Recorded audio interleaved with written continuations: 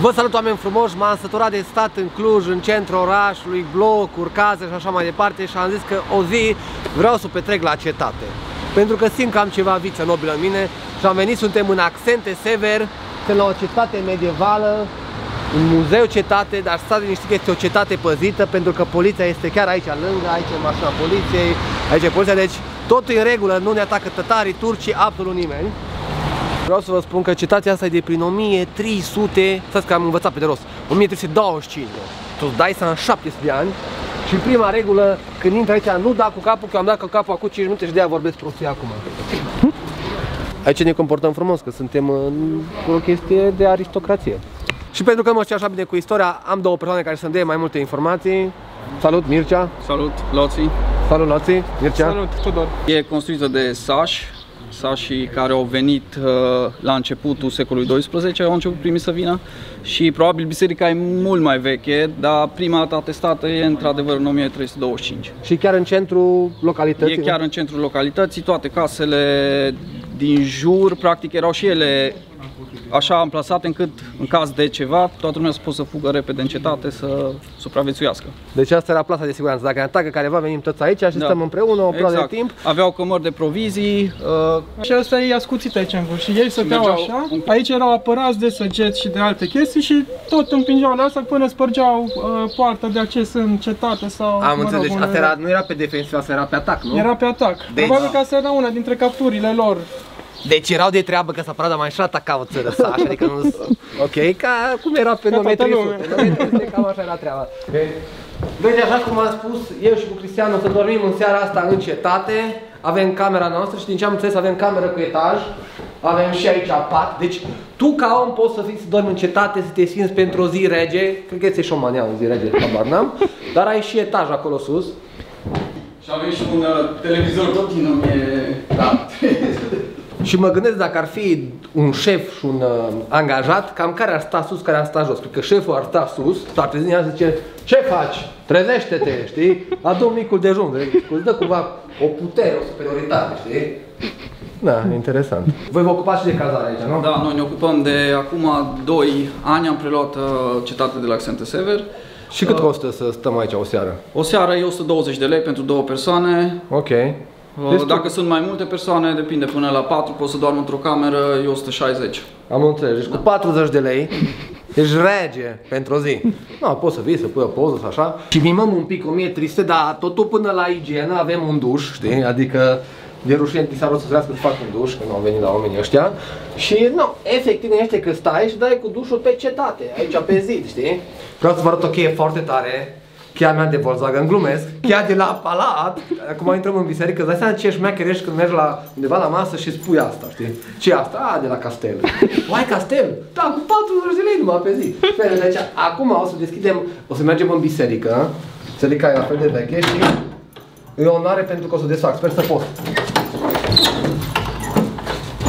Nu, n-am stricat nimica, putem intra. Aia, aia, ce tare. Bănuiesc că tot satul venea aici, nu la slujbă, nu? Da, era și rușine dacă nu veneai duminică, toată lumea te arăta cu degetul dacă da? nu ajungeai la slujbă. Și mai trebuia să plătești și o amendă pe deasupra. Pe bune? Păi da. Ce tare! Altarul e din 1777. 1777, am dună, da? Da, foarte tare. Și e unul dintre cele mai bine, care se găsesc cel mai bine din Transilvania, că chiar e într-o stare foarte bună față de alte biserici. Sculptată în, în uh, stejar, aici se botează copiii. Da? Da, chiar și eu am fost botezat aici. Nu cred. Nici eu. Ok, tare, tare, am fost bot un pic.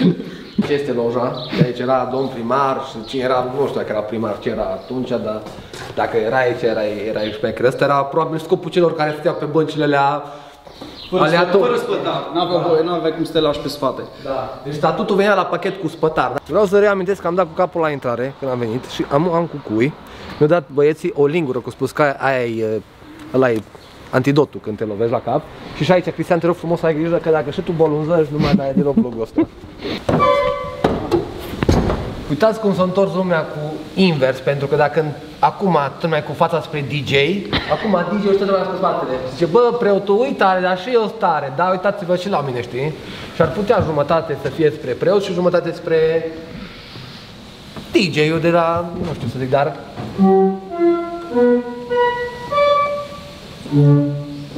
E un, e un sunet solemn, așa, pentru că e orga asta lungă și scoate sunete, nu știu cum, dar înțelegeți ce vreau să zic, știți? Și în arăta băieții că și mai multe butoane, știi? Deci ideea e că aici era corul, știi, acolo era omul care cânta să nu zic DJ. Vreau să vă spun că și am fost la cor odată.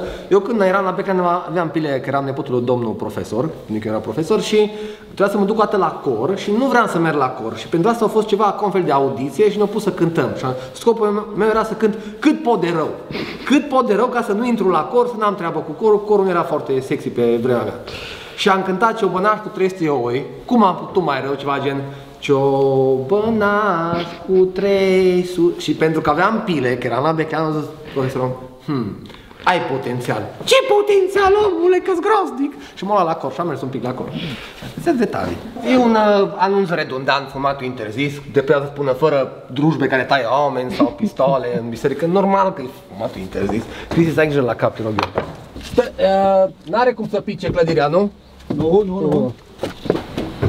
Na, nu este lift sau ceva, nu? Da, da, da, nu l-am folosit acum, că am zis că...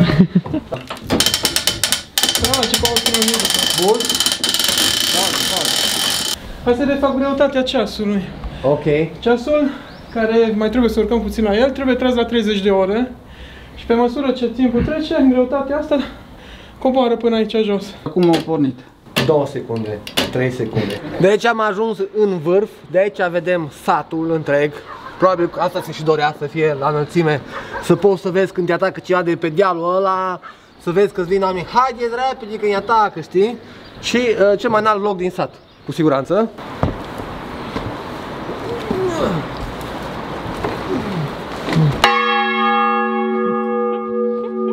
Bun, să se știe, nu mai insistăm. Cine a auzit, a auzit, cine nu, nu trebuie să audă, e bun. Să, să oprește, nu? Da, se oprește singur. Hai să meargă. A, De ce la mare când se trăgea? La mare în caz că moare cineva sau evenimente precum nuntă sau Botez. de genul. Botez, botez, nuntă, mormântare, Da. nu? Și ăsta micu? În caz de atac. Și, și ăsta l-auzea lumea? Cum să nu? Mișcă tare așa de el. Nu de clopot. Gen ăla din capătul satului, aude? Da, uite, vezi cum s-au uitat cei de acolo. Da. Ne atacă! Mergi înapoi în casă! Da, bun. Ai grijă. Cine a dat la astea autorizație? Înțeles. Bă, vrem un P plus 2 și acoperișul de la îngustare, știi? A, și unde? În centru. Vă dau, știi? Ceva rege de pe atunci, a? Ăsta e viu de aici de sus, de la clopot.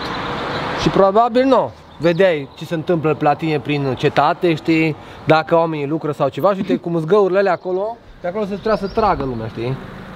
Și zice, Tra, trage mă, nu te feri mă, dă mă, știi, că aici trebuie să fie unul sus care motiva, știi, un motivational speaker în, pe timp de război trebuie să fie aici sus, știi, dă mă, bagă mă, știi, ceva, mă gândesc eu, nu știu și cum era vremea, lumea pe atunci, da? Da, sărac. Uh, gazdele de treabă și nu mi-au zis direct, mi-au scris numai mesaj pe când am venit. Vă rog să nu vă jucați cu orga, mulțumesc. Păi să zic că înainte și era fel, dar de asemenea avem și atenție extremamente puternice de porumbei, știi? Puternice. Au zis, posează ceva pe peretele tău și prima poză pusă pe wall, pe... Numai nu este neapărat un feed, feed-ul e așa, nu e vertical, e orizontal, că e asta, asta, asta scrollezi, știi? Dar tare, nu postările, știi? E un, un fel de backstage, aș putea spune, la biserică, în sensul în care aici era încăperea în care se pregătea preotul, aici își făcea treaba și pe aia când îi striga numele zicea, intru. Și mergea aici și așa acolo, fix acolo unde trebuie, la altar, pe muzică de orgă, e, e, e. Mă rog, în fine, ați înțeles ideea. Dar uh, e camera lui și aici și chema, cred că, pe oameni, nu? Gen, dacă vrea să discute cu unul, dacă... Da, Poved- da, Povedania da, era aici, da, adică... da. Poate nu există chiar Dacă povedania. dădea de unul care nu trăgea când erau atacurile, îl chema aici și vorbea lua cu la el, rost, la, da. la rost. Da. Am înțeles. Deci aici a fost o cameră de a fuma carne, după aceea s-a făcut niște restructurări, nu prea a fost spațiu și s-a făcut o toaletă și curios cum arată o fostă cameră de a fuma carne momentan wc Da. Așa. E destul de clasic. A bun, stilul clasic, sunt tablouri pe pereți. E ok. Bun, bun, bun, bun. E bine. Cine vă lucra pe aici? Uite aici, un pic cam, cam se trisurează. Am avut niște meșteri români. Da, un metri N-am mai găsit sași, Aha. s-au dus toți, dar uite, dacă vrei, la vară, te Da. așteptăm să ne ajuți. A, vă ajut că vă găsesc oameni. și asta e de ajutor, să știi. Da. Și aici e ca o Aici e foișorul nostru, da. Unde ai și internet, ai Ce îmi spune legătură, că înseamnă chestia asta?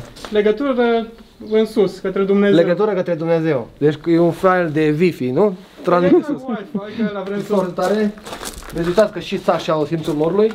Și da, aici, ideea e că ce zice aici se ajunge mai repede de sus și să nu zici prostii, așa că o să plec.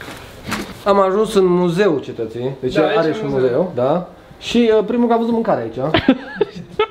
Zacuscă, dulceață de trandafiri, dulceață de gutui, dulceață de piersici, peltea de gutui. Sunt trei încăperi. Aici, în prima încăpere, avem câteva lucrări din uh, picturi pe pânză de paianjen făcute de Ați Emil auzit? Mureșan.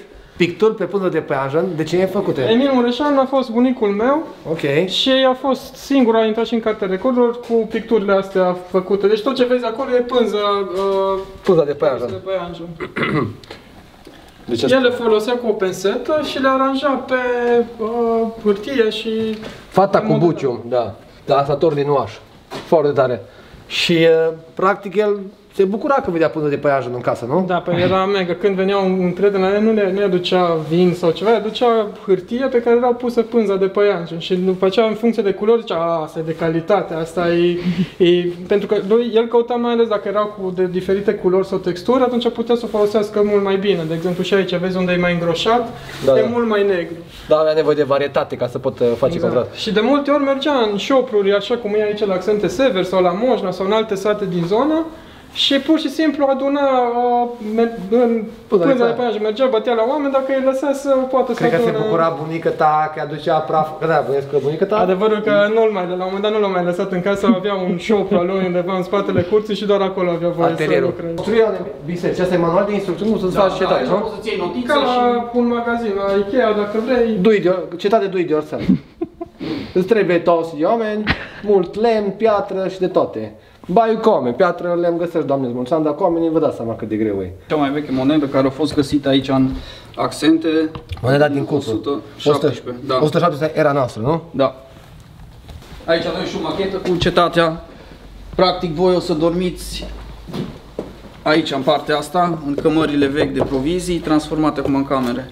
Uite, mi-a explicat băieții care schema se numește Bostan de scos vin, pentru că înainte vinul era ținut în damigene, băgai așa, făceai S-a adunat tot aici, puneai degetul și stătea și pe aia, nu, cât îți sărea? Stop, stop, stop, stop, știi, cu tipa, știi? Hai că nu mai pun, nu, Mircea, stop, stop, te rog eu, hai că mă super, știi? Mai pune câte un pic, știi, numai din deget aici, știi, aia e schema tare. Vă dați seama că e un vlog pe bază, pe tematică de război, mă rog, că e cetate război, dar ideea e că bărbații aveau războiul lor, dar și femeile aveau războiul lor aici, lucrau pentru că stai război. Aia era gluma, știi? Nu, no, că ați înțeles-o. Hai să ne arăt.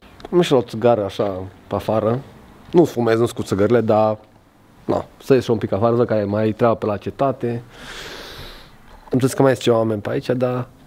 De că ne putem închide, putem face ce vrem noi aici. Pot să închid și să mă culc, că așa vreau eu. Mâine prostim, dar o țără e friguț, hai să mergem înăuntru să ne vedem pe aici. Hai! E bine că e faină, e căldură de aia faină, cumva căldură de Crăciun bunici, știi? Căldură de aia. Ah. Mă, știi de ce vă recomand castelul, mă? Gândește cum lucri tu de la castel, știi? Că vorbești cu cineva, cam cum negociezi, da? Deci, zic că fără un milion de euro nu mă dau jos din pat, da? Că eu sunt la castel, tu trebuie să plătesc întreținerea la castel, știi cât costă ca la castel aici, știi? Parcă îți dă, îți dă o putere, da? Te simți mai cu încredere, știi? E un vibe, știi? Să mi se descarce laptopul. Ce faci, Cristian?